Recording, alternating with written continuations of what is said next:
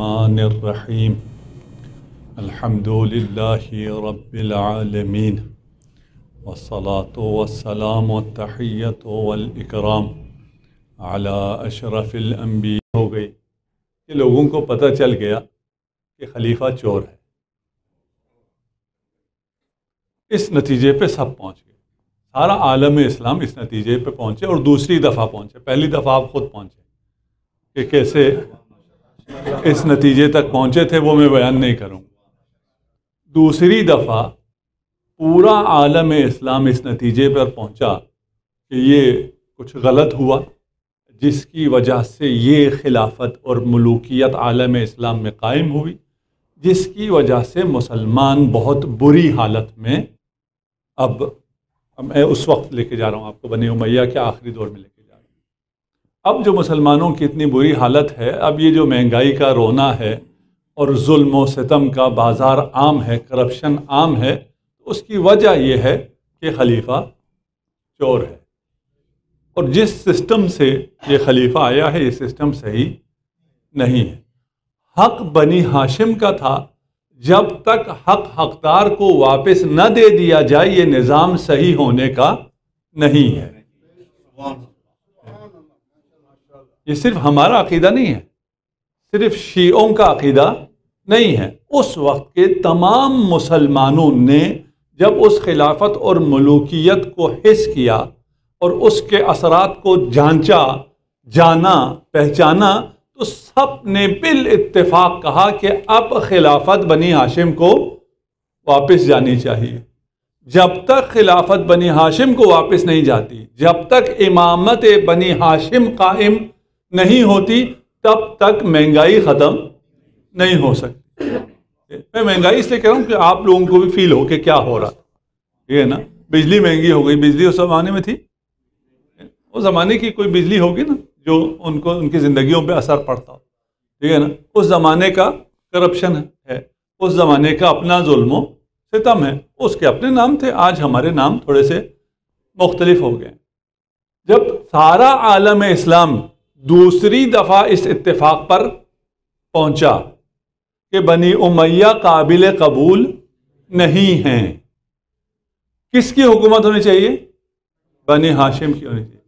बनी हाशिम की इमामत के लिए एक नारा बुलंद हुआ। अल इमामतो ले रिजा मिन आली मोहम्मद सलवात पढ़ मोहम्मद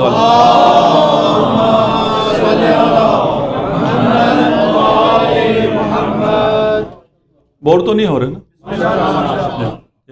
अगर आप साथ चलेंगे तो इस तरह थोड़ी सी गुफ्तु करेंगे। नहीं करेंगे तो आसान गुफ्तु भी हमें आती है। ठीक है सबने इत्तेफाक किया कि हमें आल मोहम्मद में से जिस पर रब राज़ी है रज़ा मिन आल मोहम्मद, हमें मनसूस मिन अल्लाह इमाम चाहिए।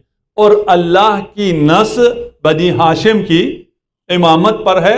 और इस पर तमाम मुसलमान मुत्तफिक हुए और उन्होंने बनी उमैया से जान छुड़ा ली। एक चोर से जान छुड़ाना तो आसान है, उसके बाद के मरहले मुश्किल हैं। ये ना? आप लोगों ने ये देखा है ना अपनी तारीख में? ये ना? कि हमसे कहा गया, एक चोर है, फलान है, ये चला जाएगा तो फिर सब कुछ हल हो जाएगा। नया पाकिस्तान आ जाएगा, नया पाकिस्तान जब आया तो नया मसला शुरू हो गया। ठीक? अब जब बनी उमैया का बिस्तर गोल हुआ तो बनी अब्बास ने बजाय इसके बनी हाशिम में बनी फातिमा को हुकूमत देता, इमाम जाफ़र सादिक सलाम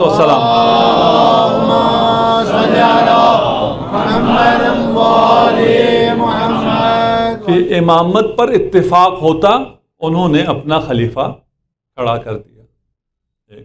उससे पहले आप जानते हैं कि नफ्स जकिया की खिलाफत पर, इमामत पर बेअत हुई। उस तफसील में मैं नहीं जाऊँगा, पढ़ लीजिएगा वहाँ। अबवा में इज्तम होता है तमाम मुसलमानों का और वहाँ इमाम तशरीफ़ नहीं लेकर जाते। इमाम के न जाने पर नफ्स ज़किया का अब्दुल्ला इबन हसन मुसलस बिन हसन मुसन्ना बिन हसन सिब्त की इमामत पर इत्तेफाक हो जाता है और उसके बाद बनी अब्बास इनका भी सफाया कर देती है। बस दो गलत सिलसिले हैं। एक बनी उमैया, दूसरा बनी अब्बास। बनी अब्बास ने वादा, नारा अच्छा लगाया था, लेकिन ये नारा लगाने का मकसद कुछ और था। अच्छे नारों से धोखा न खाइए। नारे अच्छे होते हैं, लेकिन मकासद पीछे और होते हैं। अल इमाम रज़ा मिन आल मोहम्मद का नारा बेहतरीन था, लेकिन ये नारा लगाने वाले बनी अब्बास के मकासद कुछ और थे। उनका मकसद इकतदार था। तमाम मुसलमानों का इत्तेफाक है उस ज़माने के मुसलमानों का कि बनी उमैया सही नहीं है, बातिल है। बनी उमैया कहती थी कि बनी अब्बास सही नहीं है। है ना? बनी अब्बास कहते हैं बनी उमैया सही नहीं है बनी उमैया कहती है बनी अब्बास सही नहीं है। बात में तारीख ने बताया ये दोनों सही नहीं थे। उसके बावजूद कुछ ऐसे लोग हैं जो अभी इन दोनों को सही मानते हैं। पहुँचे आप लोग? ये कितने अजीब लोग हैं। ये यहूद नसारा की तरह है। ना नसारा कहते हैं, यहूद ठीक नहीं है। यहूद कहते हैं, नसारा सही नहीं है। कुरान कहता है, ये दोनों सही नहीं है। दोनों ही बातिल हैं। ठीक है ना? न बनी उमैया सही है, न बनी अब्बास सही है। लेकिन जिस मकतब और मदरसे की बुनियाद इन दो फासिद निज़ामों पर हो। पहुँचे या नहीं? ठीक है ना? अब आपको पता चलना चाहिए, आपको भी पता चलना चाहिए, आप बाकियों को भी बताएँ। कि आपको मशाहिर में इन दो सिलसिलों में से कुछ लोगों को पढ़ाया जाता है। इस्लामी हीरोज के तौर पर बनी उमैया की भी लोगों को पढ़ाया जाता है और बताया जाता है, और बनी अब्बास के भी। ना बनी उमैया सही है, न बनी अब्बास सही है। ये उस पर तारीखी शवाहिद हैं। अच्छा इनमें फ़र्क क्या था? बनी उमैया और बनी अब्बास में फ़र्क क्या था? बनी उमैया ने सीधा ये कहा, इकतदार हासिल करने के बाद कि भाई तुम्हारा ये ख्याल है तो आपको पता है किसने कहा है। ए? अमीर शाम ने कहा, तुम्हारा क्या ख्याल है? मैंने तुमसे क्यों जंग की? मैंने नमाज़ के लिए, रोज़े के लिए, हज के लिए तुमसे जंग की? नहीं, वो तो तुम पढ़ते थे।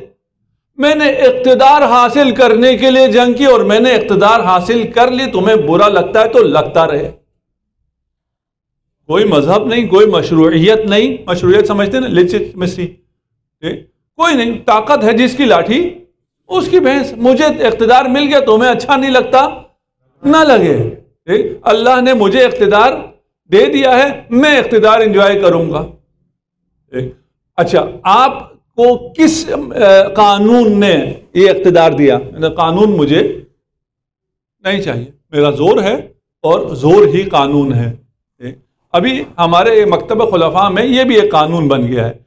कि जो ताकत से कब्जा कर ले, वो हाकिम, शर्ई हाकिम होता है। अजीब गरीब कवानीन बने हुए हैं। तो ये चीज़ें होती ऐसी ही हैं कि पहले हो जाती हैं आर्डिनेंस उसके बाद आता है, ताकि उसको सही किया जाए। तो ये तो बनी उमैया था, जिन्होंने कहा कि हम बातिल हैं तो क्या हुआ?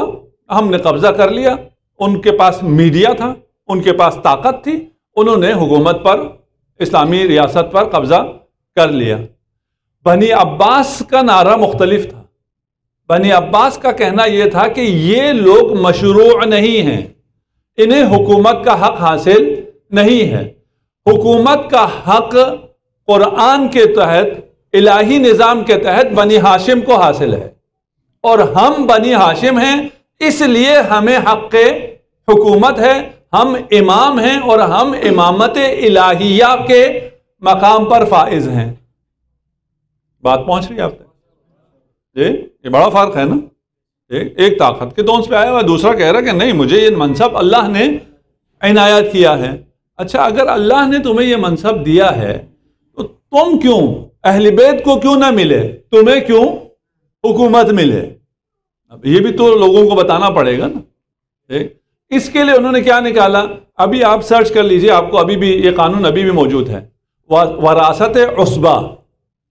सुना है कभी आपने? कुरान में नहीं है तो आप कहाँ से सुनेंगे? अभी आप सर्च कर लें कि वरासत उसबा क्या है, आपको सारी वेबसाइट से जवाब मिल जाएगा कि वरासत उसबा क्या है। वरासत उसबा हमारे भाइयों के यहाँ यह है कि अगर किसी शख्स की कोई औलाद जकूर ना हो, बेटा ना हो सिर्फ़ बेटी हो। एक, अगर उसकी एक बेटी है, या चंद बेटियाँ हैं, लेकिन बेटे नहीं हैं तो उसके तरके में से बेटियों को और चचा को हक मिलता है। कैसे मिलता है? बेटियों को और चचा को। है ना? जबकि चचा दूसरे तबके में है, कुरान के मुताबिक। जब तक बेटे बेटियाँ हैं, चचा को वे इर्स नहीं मिलता। लेकिन यहाँ यह है कि बेटियाँ अगर हैं, बेटे नहीं हैं तो चचा को इर्स मिलेगा। वो कहते हैं कि रिसालत माप की जब रहलत होती है तो रिसालत माप के बाद, रिसालत माप की औलाद में कौन था? बेटी थी। बेटे तो नहीं थे। इसलिए जो माली वरासत थी, वो जनाब सैदा को मिले। लेकिन जो इमामत है, क्योंकि इमाम खातून नहीं हो सकती हैं इसलिए वो वरासत मिल गई चचा को। पहुँचे आप? ये ये वरासत इमा किस से रसूल खुदा से मिलेगी हज़रत अब्बास को। उस वक्त उन्हें नहीं मिली, सकीफा में कहीं और चली गई, जब हमने ताकत से इस इलाही मनसब को हासिल किया दोबारा। तो इसका मतलब क्या हुआ? बनी अब्बास को ठीक मानने वाले हारून रशीद को गुन के गुन गाने वाले, हारून रशीद के नाम पर नाम रखने वाले, ये जाने कि उनका नज़रिया क्या है?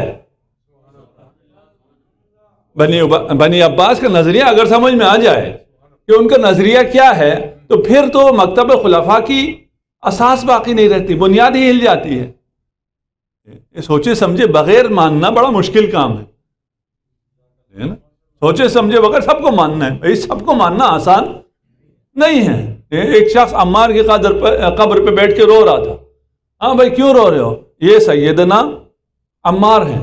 इनके बारे में रसूल खुदा ने ये फरमाया था, ये फरमाया था। कहा, जानते हो किसने कत्ल किया? कहा हाँ किसने किया? कहा सैदना फलान ने इन्हें कत्ल किया। कहा, है? अम्मार भी सैदना और जिसने, उसका कातिल भी सैदना ठीक है? ये कैसे हो सकता है? कहते हैं सैदना आप भी सही कह रहे हैं। भाई, सबको सैयद नहीं कहा जा सकता, सबको हज़रत नहीं कहा जा सकता, सबको रज़ी अल्लाह नहीं कहा जा सकता। सोचो, समझो, क्या कह रहे हो? है ना? हारून रशीद की तारीफ़ करोगे तो फिर इसका नज़रिया भी पढ़ो कि किस नज़रिए के तहत ये इस इकतदार पर आया। हम तो इसको नहीं मानते ना। हम इस वरासत उसबा को नहीं मानते। लेकिन वो अपनी मशरूयत के लिए इसे पेश करते थे।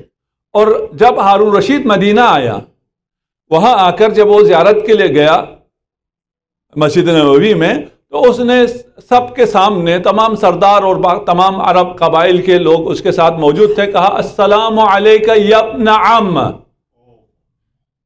ताकि सबको बता सके कि मेरा रसूल से रिश्ता क्या है। तुम ये अपना आम नहीं कह सकते रसूल खुदा को।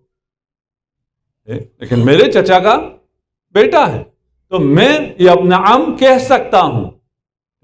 और लोग मुतासर भी होते हैं, बेचारे लोग। बेचारे लोग मुतासर होते हैं। क्यों? इसलिए ये तो रसूल खुदा को ये अपना आम कह सकता है। ये नहीं जानते कि कुरान की सरी आयत है, वला तज आलू दुआ रसूल बैनकुम का दुआ बाज़कुम बाजा।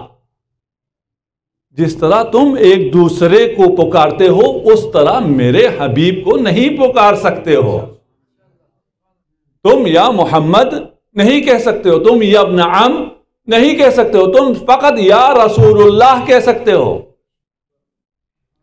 ये अपना आम कहना ममनू है कुरान की रूह से। लेकिन ये आता है, वो बेचारे जाहिलों को तो कुरान भी नहीं आता। तरावी में पढ़ देना और है, समझ में आना और है। वो वो बड़े मुतासर हो गए कि खलीफा जो है, वो क्या कह सकता है?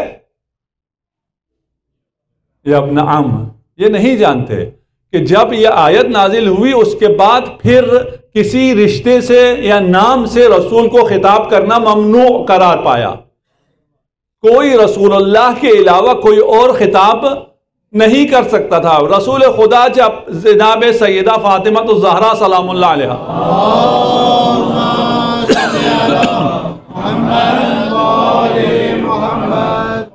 अगर तशरीफ़ लाए तो जनाब सैदा ने कहा, अस्सलाम या रसूल अल्लाह अल्लाह के रसूल, आप पर मेरा सलाम हो। आपने कहा, बेटी, ये आयत आपके लिए नहीं है।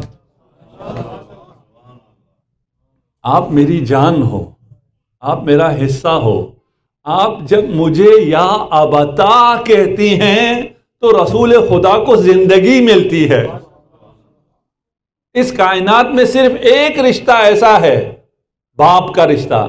मेरे बेटे मुझे या अबता कहेंगे। मेरे फर्जन मुझे या अबता कहेंगे, मैं या अबता मेरे बाप सुनना पसंद करूँगा, या रसूलुल्लाह सुनना पसंद नहीं करता। बस किसे इजाज़त है? सिर्फ़ एक रिश्ते को इजाज़त है। किताब की बाकी सबको या रसूलुल्लाह कहना है। हारून रशीद ने आगे बढ़ के क्या कहा? सलाम अपना आम वहाँ इमाम मूसा काजिम भी तशरीफ़ फरमा थे इमाम ने बढ़कर क्या कहा? अस्सलाम या अबता। अगर तू कहता है, ये अपना आम और जाहिलों को पता नहीं चलता तो अगर ये तेरे चचा के बेटे हैं तो ये मेरे वालिद हैं। ये मेरे बाबा हैं। सलवात पढ़ दीजिए, मोहम्मद वाले मोहम्मद।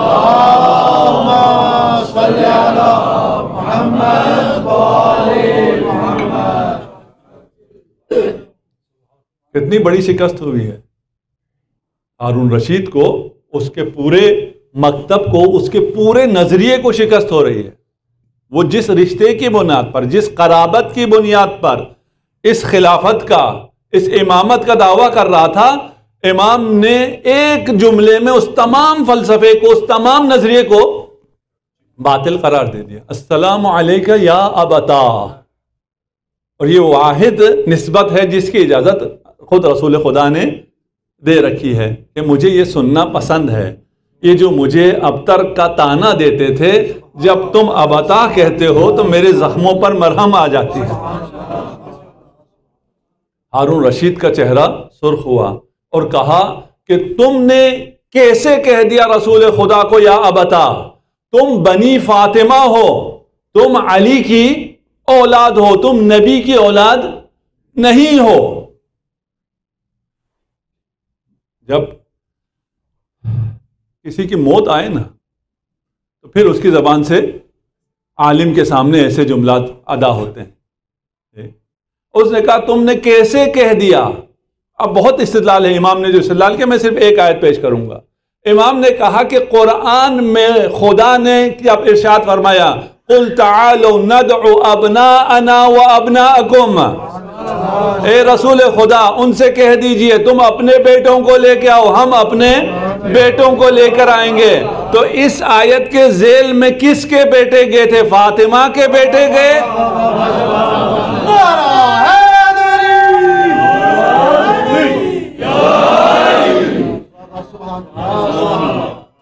लजी कफर। वो मबहूत रह गया। अगर मैं पेश कर सकूँ और बता सकूँ। जो इनकलाब इमाम हुसैन सलाम बनी उमैया के खिलाफ लाए थे और बनी उमैया को इमाम ने बेनकाब किया था, बिल्कुल उसी तरह बनी अब्बास को इमाम मूसा काजिम ने बेनकाब किया।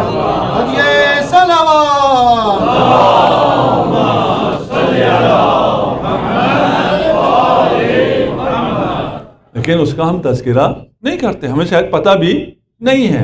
आपकी मुजाहिदत ने, आपकी असारत ने, आपके इल्मी मुनाजरों ने, आपने, हम आजकल ये भी पढ़ा शुरू हो गया है कि आइम्मा तो आबिद थे, इबादत करते थे, ये इन लोगों के साथ भी अच्छे थे, इनके साथ ठीक रहते थे, कोई ठीक नहीं रहते थे। ये ये पूरा जंग है ना? पूरे ऐलान जंग है कि तुम्हारा जो सारा नज़रिया है, सारा नज़रिया बातिल है। तुम इमाम हक नहीं हो। इमामत का हक हमें हासिल है। ये पूरा, पूरी जंग लड़ी है इमाम ने। इसीलिए तो इतनी लंबी कैद हुई है। सिर्फ़ ये, इसी जंग में दूसरी मरतबा भी है। इनका, जैसे मैंने कहा, इन्होंने कहा था, बहुत करप्शन हो गई है, इन्होंने बहुत लूट लिया है, आपका माल खा गए हैं, ये सारे स्विस बैंकों में और लंदन ले गए हैं, हम वापस लाकर आपको दिलाएँगे। किसी को मिला?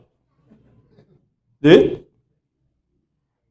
बनी अब्बास ने भी यही कहा था कि ये सब लूट कर ले गए हैं, हम वापस दिलाएँगे रद्द मजालिम।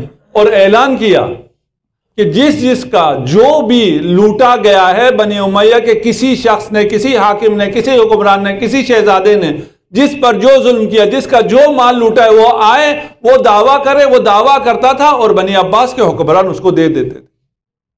उधर सिर्फ़ नारा नहीं लगा, उधर वापिस हुआ, रद्द मजालिम हुआ। लोग आते थे, लोग कहते थे कि मेरे इतने दरख्त इन्होंने गस्ब कर लिए थे, वो कहते थे, इतने दरख्त तो मारे हुए। इतनी ज़मीनें मेरी इन्होंने हड़प कर ली थी, इतनी ज़मीनें तो मारी हुए। इतने हैवान मेरे ले गए थे, इतने हैवानात, इतने गोस्वान, इतने ऊँट तुम्हारे हुए। अच्छा हो गया ना? हम्म? लोगों के लिए अच्छा हो लोगों ने कहा, ये तो सही लोग आ गए हैं। सही जगह पर सही हुक्मरान आ गए हैं। जो कुछ हमसे लूटा गया था वो हमें वापस मिलना शुरू हुआ है। इमाम मूसा काजिम सलाम सलावत पर मोहम्मद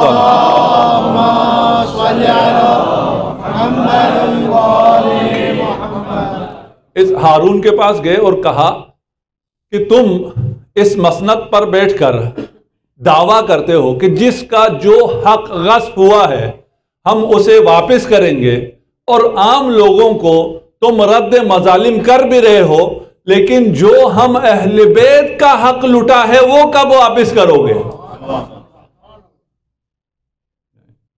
अहल बैत का हक? वापिस करता हूँ। कोई मसला नहीं है। फदक लुटा था ना?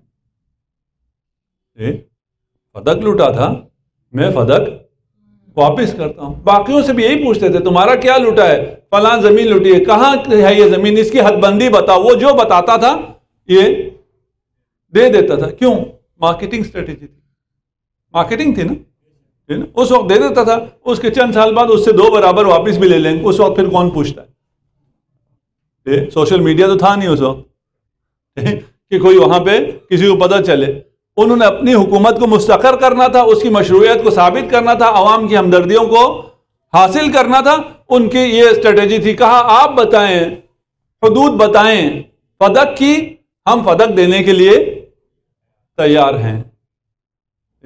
आप लोग सुनते हैं ना कि अगर फदक गस हुआ था तो अमीर मोमिन ने क्यों वापस नहीं किया? सुनते एतराज़, ठीक है ना? अब ये वापस कर रहा है, हारून वापस कर रहा है, इमाम कह रहे हैं कि अगर मैंने हदूद बता दी तो तू वापस नहीं कर सकेगा। उसने कहा, बेहक जद का अलैया। आपके जद की कसम।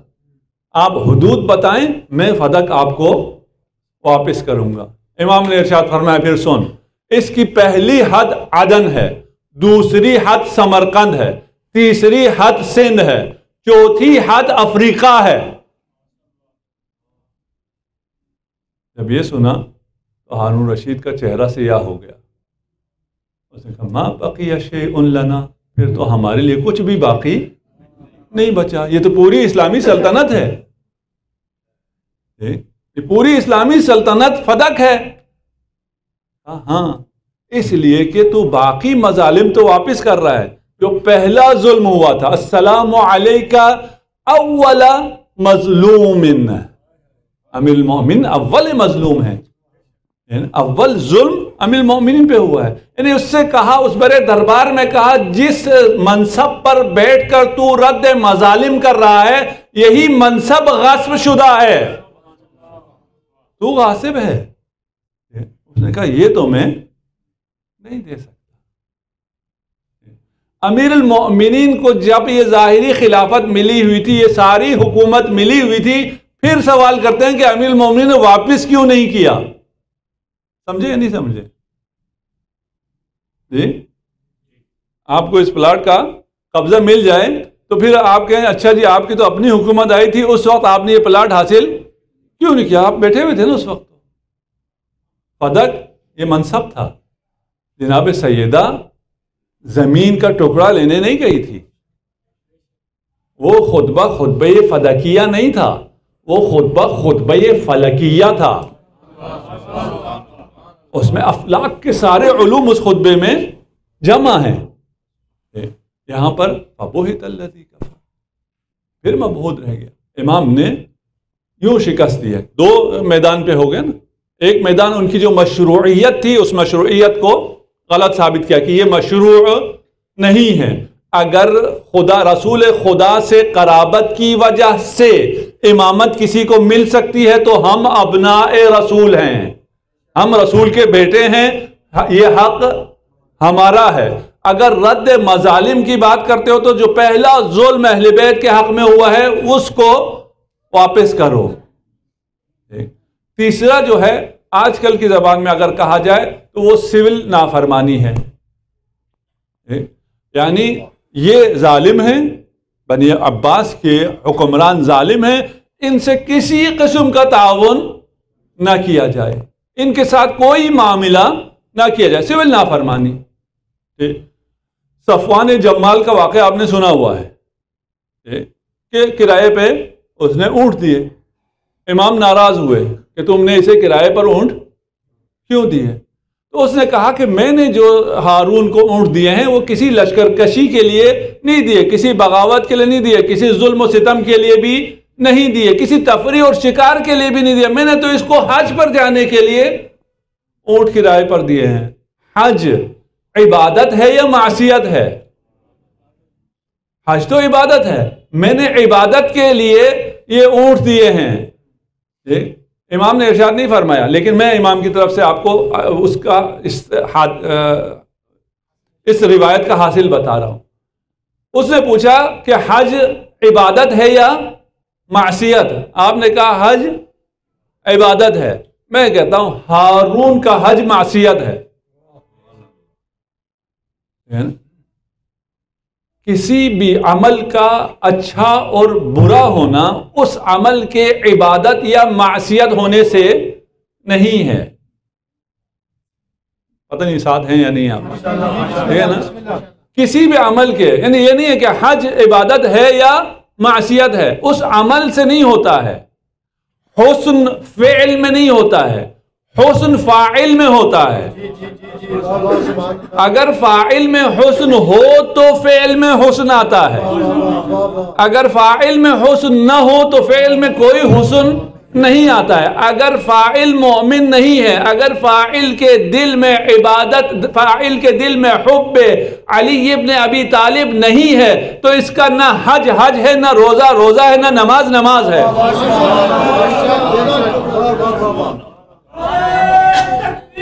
ये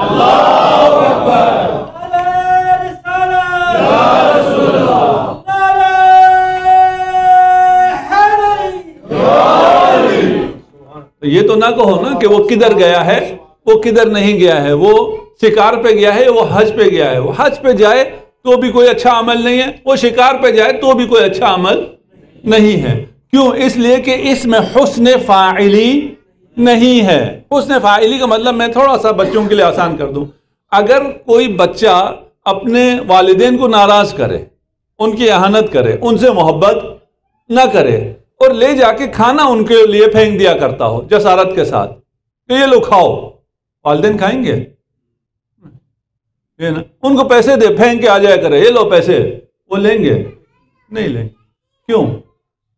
वालदेन कहेंगे, अगर तू मेरा बेटा है फरमा बरदार है तो तुझसे कुछ चाहिए। जब तू नाफरमान है तो तुझे तो मैं आग कर दूँगा। तेरी कोई खिदमत भी मुझे मंजूर नहीं है। जब इसके अपने नफ्स में कोई हुसन नहीं है तो इसके अमल में भी कोई हुसन नहीं आ सकता। ये तो उसकी नस्बत हो गया।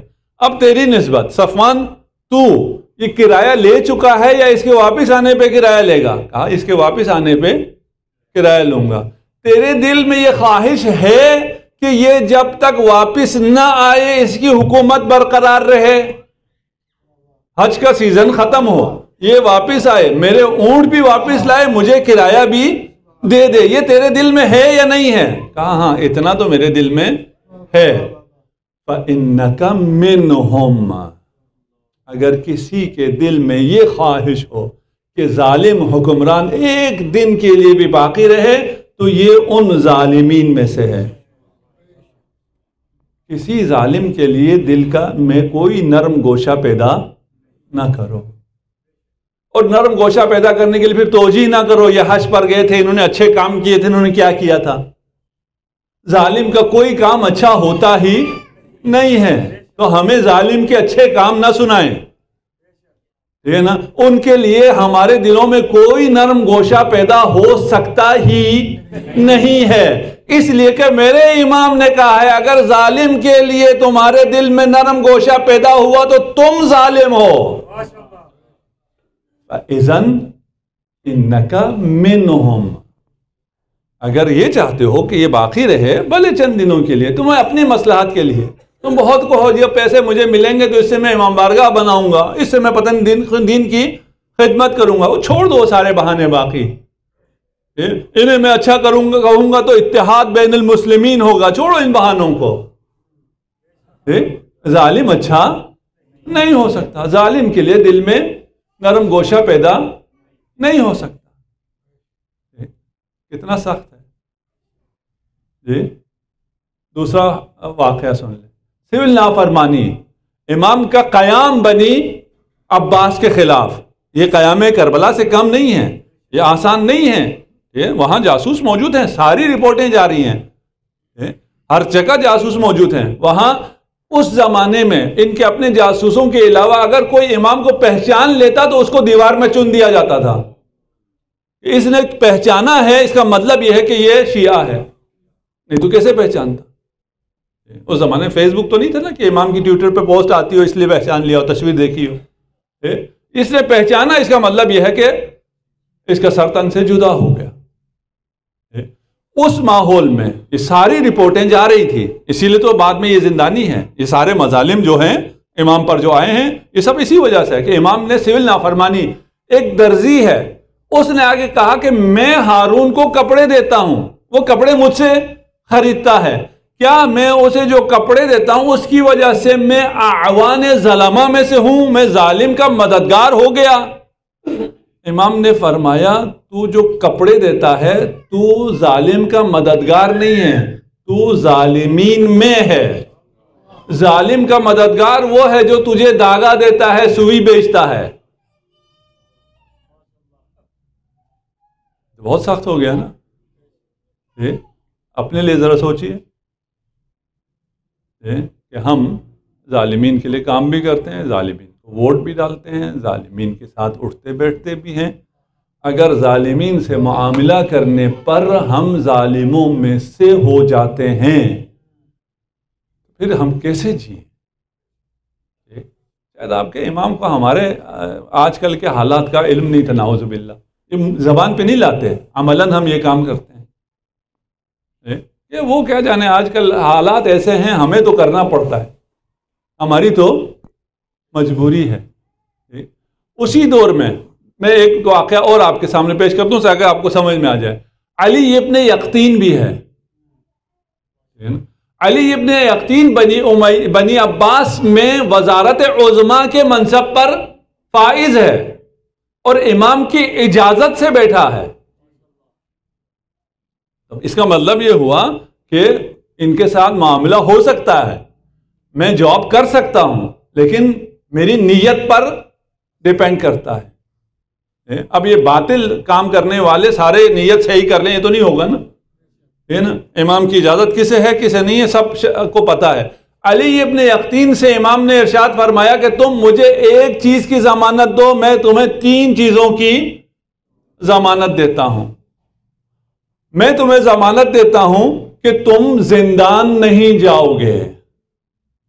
कौन ये जमानत दे रहा है? जिसकी जवानी और पीरी जिंदान में गुजर रही है, वो जमानत दे सकता है कि तुम एक दिन के लिए भी जिंदान में नहीं जाओगे। या मौला, आप क्यों जा रहे हैं जिंदान? आपके हाथ में ये इख्तियार है, आपका इतना बस चलता है, आप लोगों को जमानत दे सकते हैं। ये तो मशीयत इलाही है। जो खुदा चाहे, वो हम चाहते हैं। इमाम का जिंदान जाना मशीत इलाही है।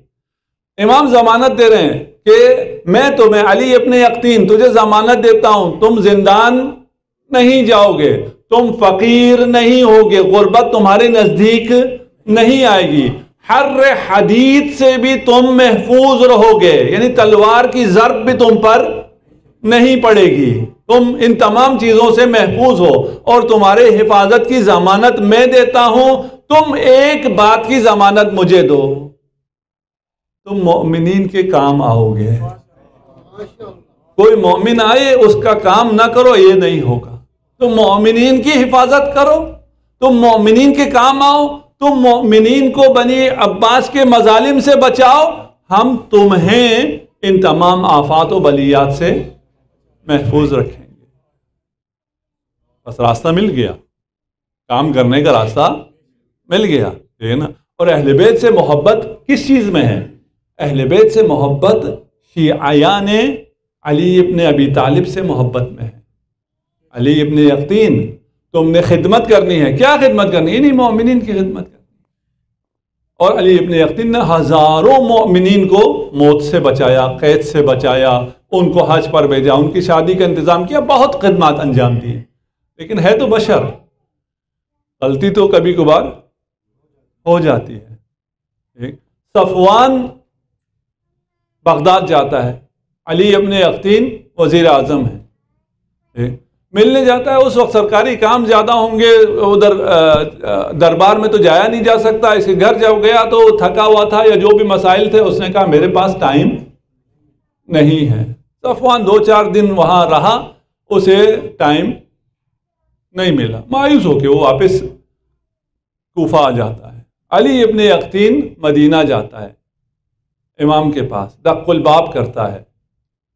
खादिम ने आकर बताया कि इमाम कह रहे हैं, मेरे पास तुमसे मिलने का वक्त नहीं है। अली इब्ने यकीन ने कहा, तुमने मेरा तारुफ नहीं कराया होगा। तुमने बताया था कि अली इब्ने यकीन आया है वज़ीर आज़म आया है।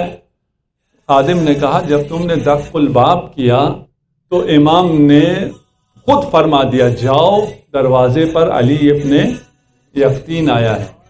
उससे जाकर कहो, जैसे उसके पास सफवान से मिलने का टाइम नहीं है, मेरे पास तुमसे मिलने का वक्त नहीं है। ये रिवायात हमें अमली ज़िंदगी में फ़ायदा देने चाहिए। मैं सारी कॉल्स नहीं उठा सकता। ये एतराफ़ करता हूँ। लेकिन जब मुमकिन हो, और ये ख्याल दिल में आए कि कोई मोमिन ऐसा ना हो इस कॉल के पीछे, उसकी कोई हाजत हो जो मैं पूरा कर सकता हूँ, और अगर मैंने इस कॉल को ना उठाया तो मेरा इमाम नाराज़ हो जाएगा। अगर मैंने दरवाज़ा ना खोला तो मेरा इमाम मुझसे नाराज़ हो जाए इसको मैंने इतनी इज़्ज़त दी थी कि अगर कोई एक कॉल करता तो एक जवान को जॉब मिल जाती। इसे मैंने इतना मोहतरम बनाया था, लेकिन इसके पास टाइम नहीं है। अली अपने यकीन समझदार है। ऐसे ही तो इस मकाम तक नहीं पहुँचा। वहाँ से सीधा कोफा आता है। कोफा आकर सीधा सफवान के घर जाता है। सफवान के घर के सहन में इस्तबल है, जहाँ पर जानवर बंधे हुए हैं। वहाँ खड़े होकर कहता है कि सफवान को बुलाओ, मुझे काम है। सफवान को जब पता चला अली अपने यकीन आया है तो वो तो घबरा गया, पता नहीं कोई आप मुझसे गलती हो गई है, ये क्यों आए हैं यहाँ पर? जब वहाँ आया तो अली अपने यकीन ने अपना रुखसार ज़मीन पर रख दिया स्तबल के ज़मीन पर, और कहा कि तुम अपना पाँव मेरे रुखसार पर रख कर मुझे माफ़ी दो। कहा, मेरे लिए ये मुमकिन नहीं है। कहा सफ़ान, मैं तुझे वास्ता देता हूँ। उस मोहब्बत का जो तेरे दिल में है। मैं इमाम मूसा काजिम की मोहब्बत का वास्ता दे के कहता हूँ कि ये काम करो और इस तरह मुझे माफ़ी दो। हम आपस में जो कभी नाचाकियाँ हो जाती हैं, कभी इख्तलाफ हो जाता है, कभी एक दूसरे पे गुस्सा आ जाता है, इस तरह अपनी अना को कभी मारा है? हम्म? ये तो मुमकिन नहीं है कि हम अपना रुखसार रख दें गोबर के ऊपर और दूसरे से कहें कि अपना पाँव मेरे रुखसार पर रखो। इतना अपने नफ्स को हम नहीं मार सकते। लेकिन इतना तो अपने नफ्स को मार सकते हैं ना कि चलो गलती जिस मर्ज़ी से हुई है, मैं चला जाता हूँ। मैं अगर वो माफ़ी मांगने आ गया तो मैं माफ़ कर देता हूँ। क्यों? इसलिए कि जो माफ़ी मांगने आया है, वो बहुत बड़ा आदमी है। वो बहुत बड़ी सिफारिश लेके आया है। वो क्या सिफारिश लेके आया है? वो दिल में जहरा की मोहब्बत लेकर आया है। इसका एहतमाल तो देते हो ना कि ये जो मोमिन है, इसके दिल में हुसैन की मोहब्बत। उसका एहतराम नहीं करते, इस दिल में मौजूद इस मोहब्बत का अगर एहतराम करो तो तुम्हारे लिए इमाम जमाना कितने दरवाजे खोल देंगे। क्यों अपनी अना पर? यहाँ अली अपने यकीन जानता था कि उसकी अना में क्या है और इमाम की रजा में क्या है। इमाम की नाराज़गी बर्दाश्त नहीं कर सकता था। आया और फ़ौरन आया भाग कर आया उमूर सल्तनत को छोड़ कर आया। इस अंदाज में माफ़ी ली और फिर सीधा मदीना गया। अब जब तक कुलबाब करना चाहा देखा दरवाजे पर इमाम खुद इस्तकबाल के लिए मौजूद पढ़ दीजिए मोहम्मद वाले मोहम्मद।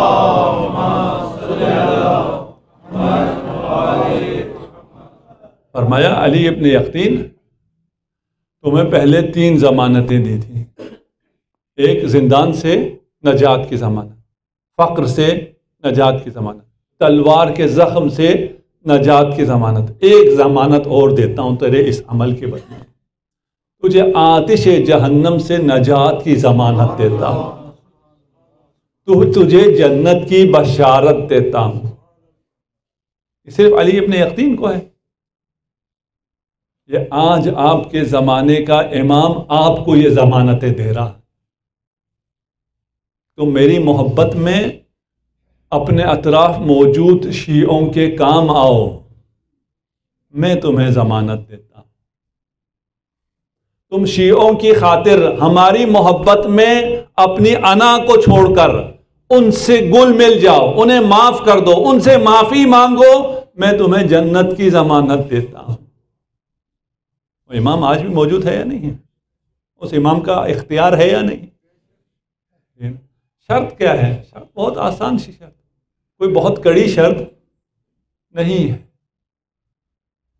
इन इकदाम की वजह से फिर बनी अब्बास के लिए मुमकिन नहीं था कि इमाम मूसा काजिम को आज़ाद रखा जाए। अगर मेरी गुफ्तु आपके पेश नज़र रही हो और उस मशरूत का जो उन्होंने डोंक रचाया था बनी अब्बास ने, उस वजह से इमाम को जहर देने के बाद बी मामून को वली अहदी का ड्रामा रचाना पड़ा। उसके पीछे भी यही स्टोरी और उसी वजह से इमाम जवाद को अपनी दामादी में लेना पड़ा कि यह कहने के लिए कि हम बनी हाशिम के साथ बुरे नहीं हैं, क्योंकि अगर बनी हाशिम के साथ बुरे हैं तो फिर मुसलमानों के साथ क्या अच्छे हो?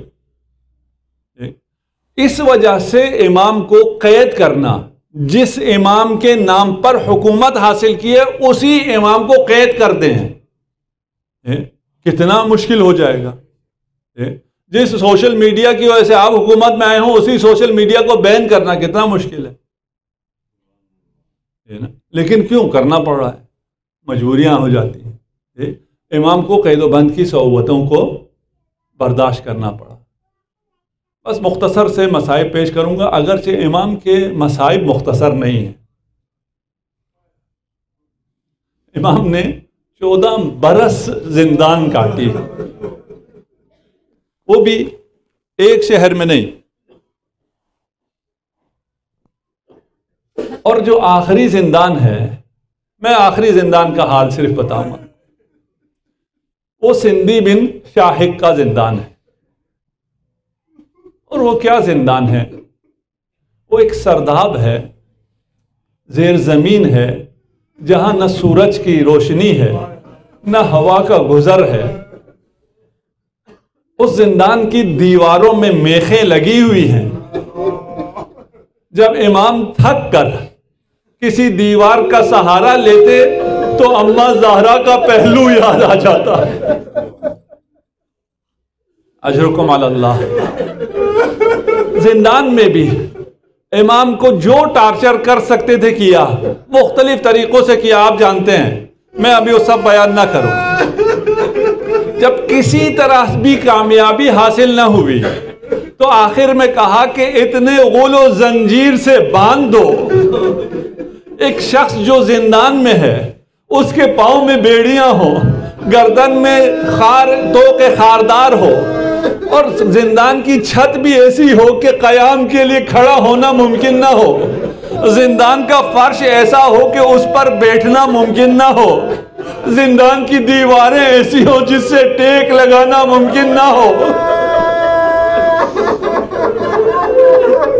लेकिन आपका इमाम खुदा का शुक्र कर रहा है। खुदाया मैंने तेरी इबादत के लिए फुर्सत के लम्हात तुझसे मांगे थे। तेरा शुक्र तूने ये खलवत के लम्हात मुझे मुयसर किए। एक रावी है अपने सुवेद। उसे एक्सेस हासिल था, वो कभी खुबार जा सकता था। वो जब भी जाकर इमाम से मिलता था, इमाम खुदा का शुक्र करते थे। अल्हम्दुलिल्लाह, खुदा का शुक्र है। शब रोज खुदा की इबादत में बसर हो रही है। एक एक दफ़ा जब इब्ने सुवेद गया तो देखा इमाम गिरिया फरमा रहे हैं। जिसने हमेशा इमाम को हालत शुक्र में देखा हो। वो जब इमाम को गिरिया करते हुए देखे तो पूछा, इमाम, ऐसा क्या हुआ जो आप गिरिया कर रहे हैं? इमाम ने फरमाया कि मेरा धम घुट रहा था। मैंने जब खिड़की से सर बाहर निकाल कर कुछ हवा लेना चाही, सिंधी इब्ने शाहिक ने लतामनी अला वजही। सिंधी ने मेरे रुखसार पर तमाचा रसीद किया।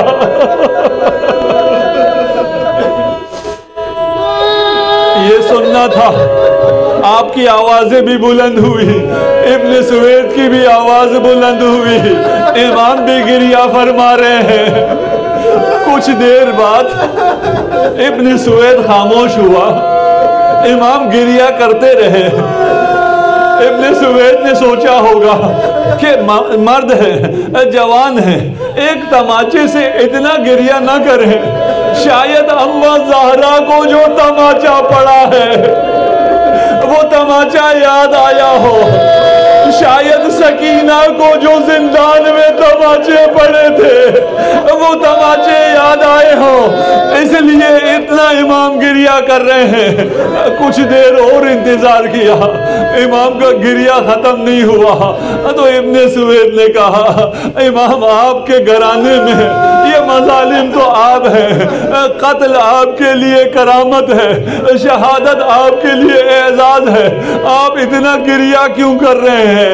इमाम ने फरमाया, इब्ने सुवेद मैं तमाचे की वजह से गिरिया नहीं कर रहा। जब मैंने सर निकाला, सिंधी ने जब तमाचा मारा, तमाचे के बाद इस लाइन ने मेरी माँ जहरा को गालियाँ दी।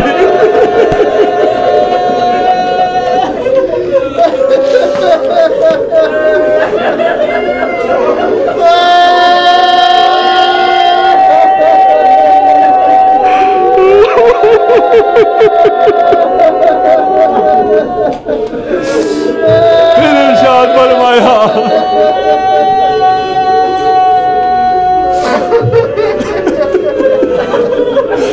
वो इमाम, जो हमेशा हालत शुक्र में है। अब उसकी दुआ बदल गई। अल्लाहुम्मा खलिसनी मिन सिजन सिंधी। या इलाही, मैं उस जगह नहीं रह सकता, जहाँ मेरी माँ को गालियाँ दी जाए।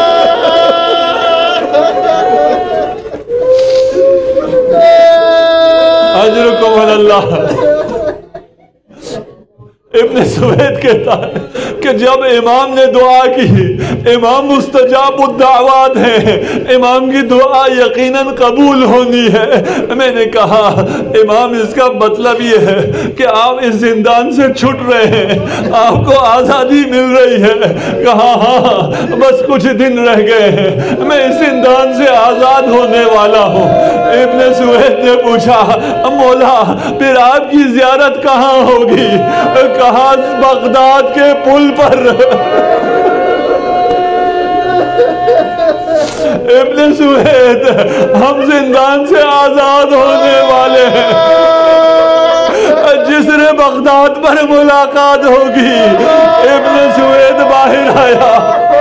शियों में ऐलान किया। जमाने का इमाम आज़ाद हो रहा है। चलो इस इकबाल के लिए चलो। हर रोज शिया बगदाद के पुल पर आते हैं। आज के दिन जब पुल पर शिया जमा थे जिंदान का दरवाज़ा खुला। शियों ने चाहा इमाम की जियारत होगी। इमाम तशरीफ़ न लाए चार मजदूर, एक